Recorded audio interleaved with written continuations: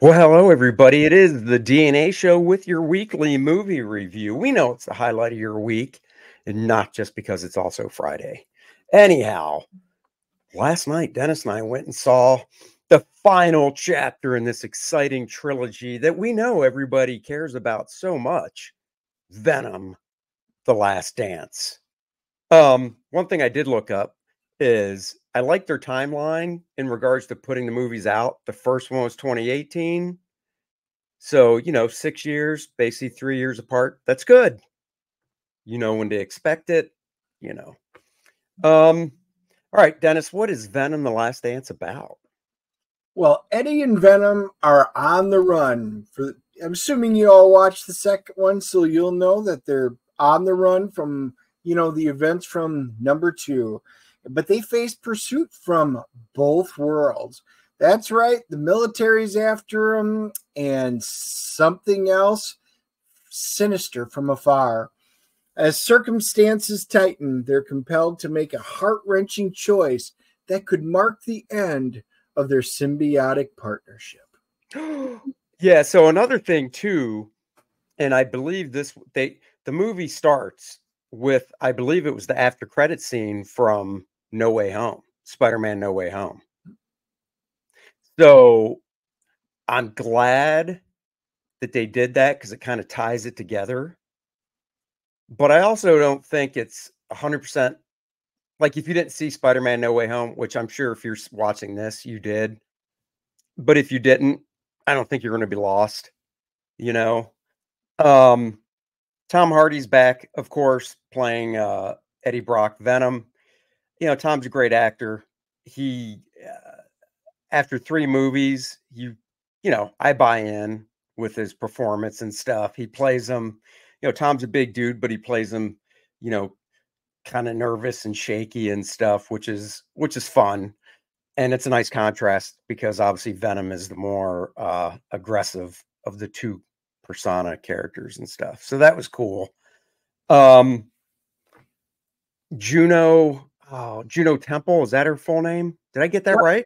Yep. Oh, score. Kaylee. Score one. score one for me. Juno Temple, who, uh, if you watch Ted, you'll know who that is. Um, she's great.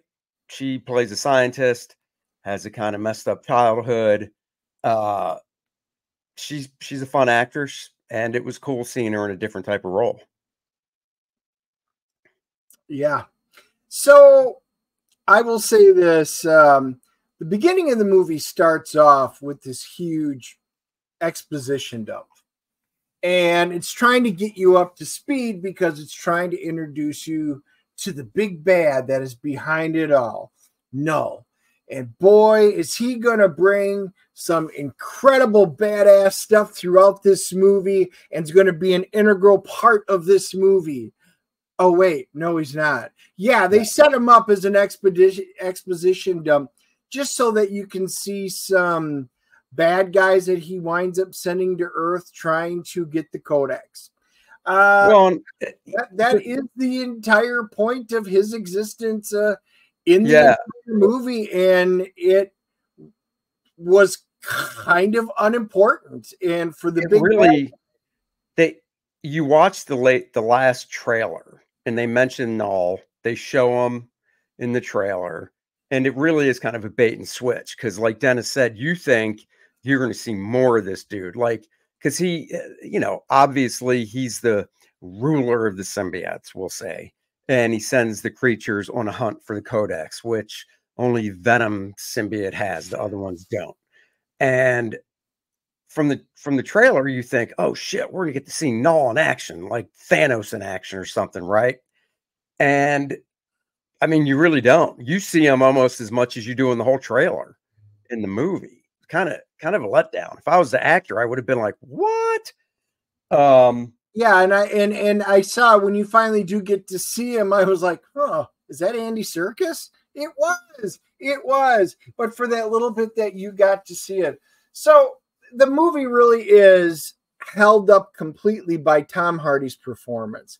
Oh, Tom yeah. Hardy plays Eddie Brock and can play against a CG counterpart, Venom, extremely well.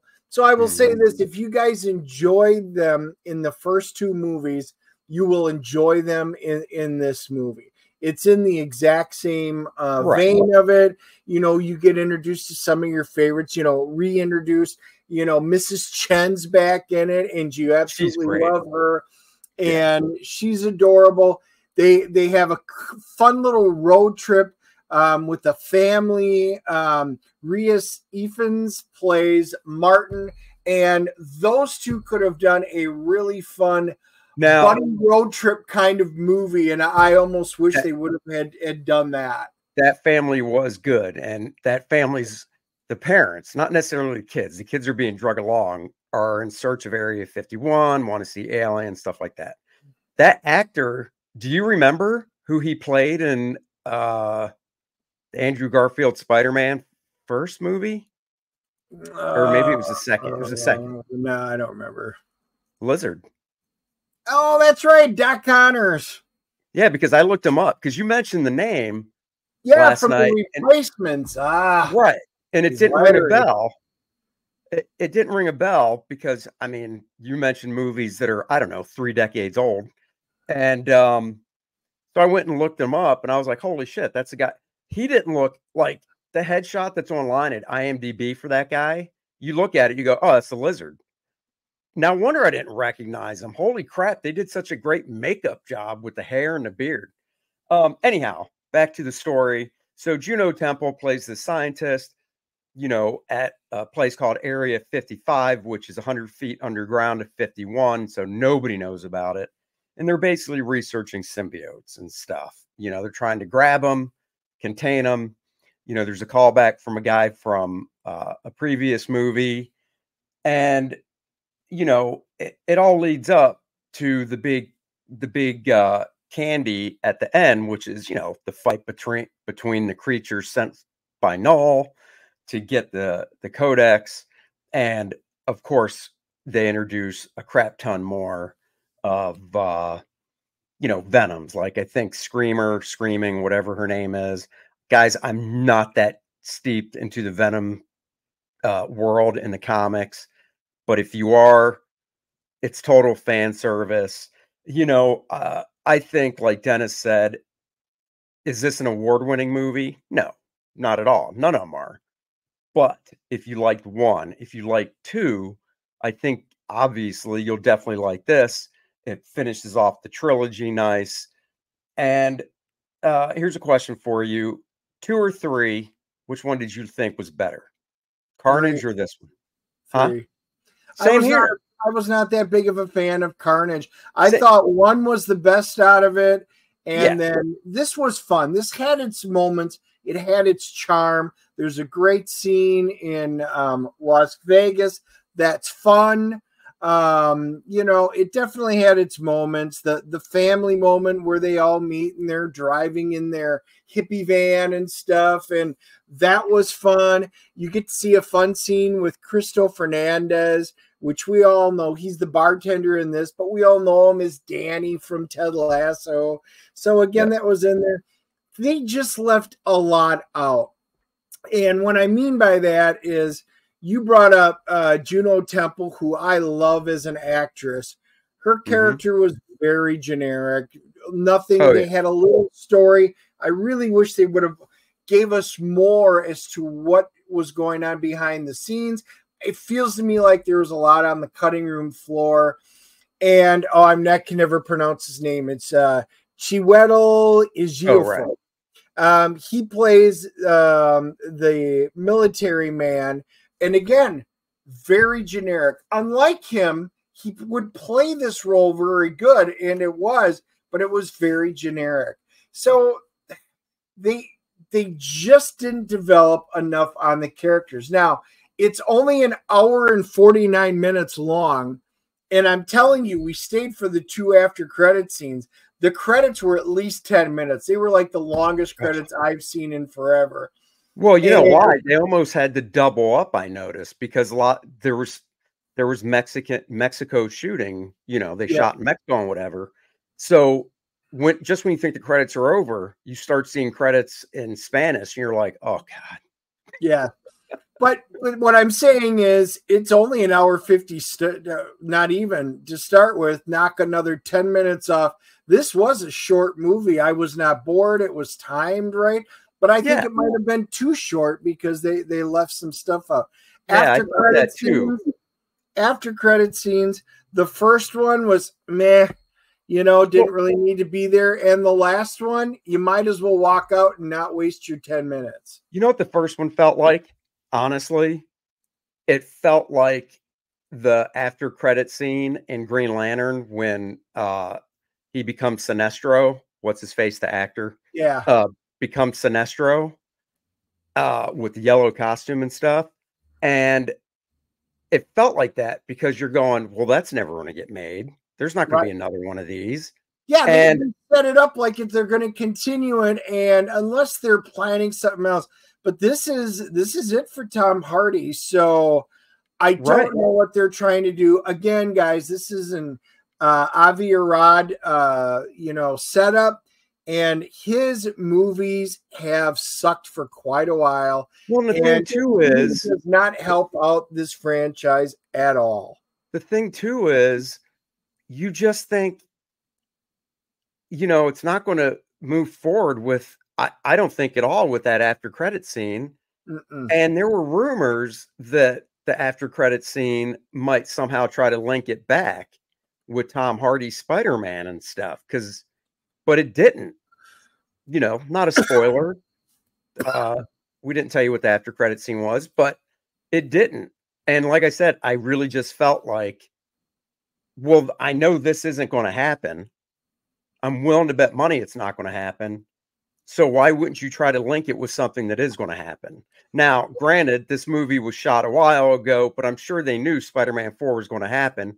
It starts filming you know next year Well, this was written during the strike uh, era, and it it kind of feels like it. I'm just gonna say this, guys. If you like the first two, this is in the same vein. You'll enjoy it. If you didn't like it, you will not like this one. There's nothing. if you didn't like the first one different. if you didn't like the first one and you were like well maybe the second one's better i'll see that and you weren't thrilled yeah save your money all right dennis let's cgc this puppy rate it from a 0.5 to a 10.0 where are you my man I am giving this one a 6.0. It was uh, fun. It had its moments um, that were really good. CG was uh, solid, which I can't see in a lot of movies lately. Yeah. Tom Hardy was fantastic. Um, and other than his relationship, um, you know, with Martin in there, you know, that was about the highlight of it. It was, it was all right. Glad I saw it. I won't be buying this one.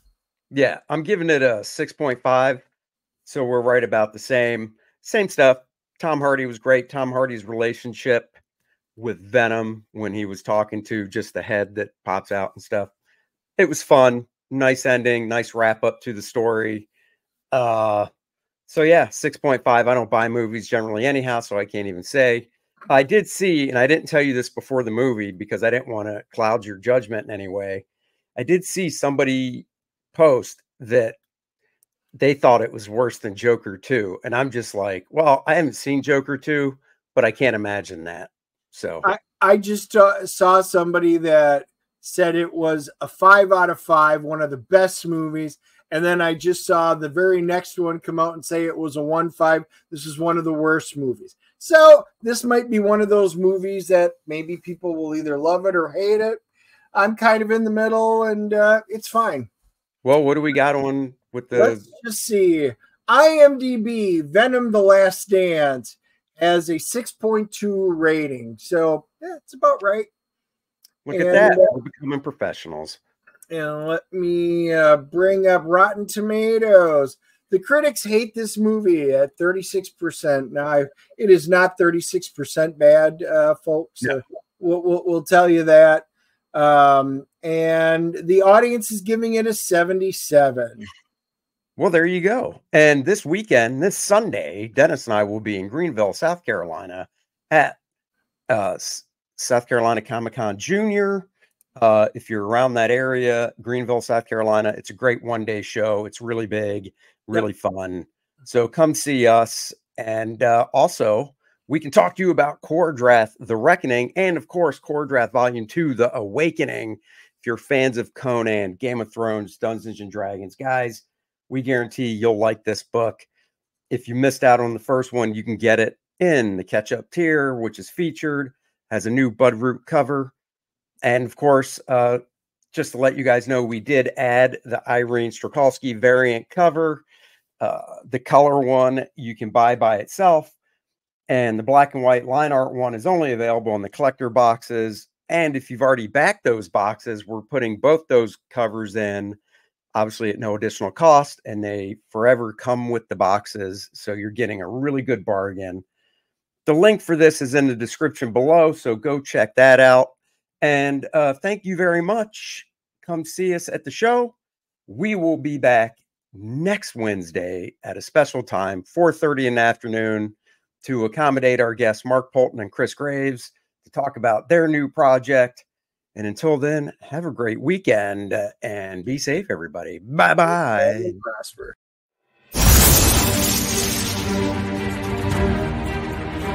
An ancient evil awakened to slaughter his family. A mythical quest was revealed.